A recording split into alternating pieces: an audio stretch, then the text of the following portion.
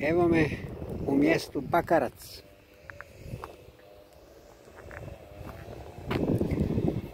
Često kad se vozimo autom primijetimo ovo drvo ovdje veliko, vidite, to je znači drvo iz komada, a to se zove tunera.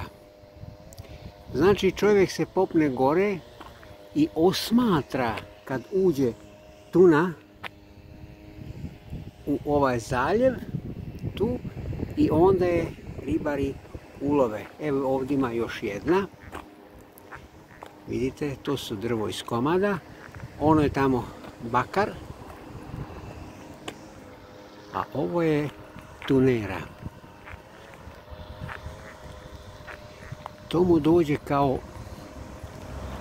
osmatrašnica, izvidnica. Znači, čovjek se popne gore i gleda dok se ne pojavi tuna.